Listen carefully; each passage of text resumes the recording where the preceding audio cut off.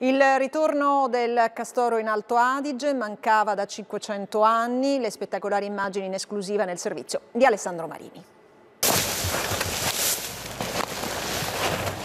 I segni del suo arrivo incisi sugli alberi abbattuti davanti all'acqua a pochi chilometri dal confine.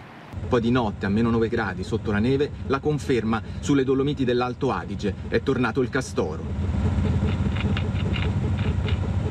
Sono stato sorpreso di trovare qua un castore.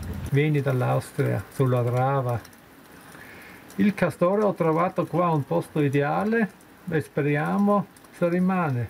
Diario inedito dalla Valpusteria, ultima tappa di un viaggio solitario lungo le Alpi sudorientali. Forse non lo sa, ma non è l'unico in Italia. 150 km a est in Friuli, un altro castoro due anni fa ha risalito controcorrenti corsi d'acqua, ha girato barriere artificiali e trovato casa nella foresta di Tarvisio. In questo che è il più importante corridoio faunistico mitteleuropeo. Abbiamo visto il ritorno a partire dagli anni 70 del cervo, poi dell'orso, della lince, del lupo, della lontra e oggi anche del Castoro. È il piccolo ingegnere della natura, era assente in Italia da quasi 500 anni. Sulle sue tracce ora ci sono i ricercatori, ma presto, si spera, arriveranno rinforzi. Il legno non manca e c'è una diga da costruire. Purtroppo è il terzo inverno che passa da solo.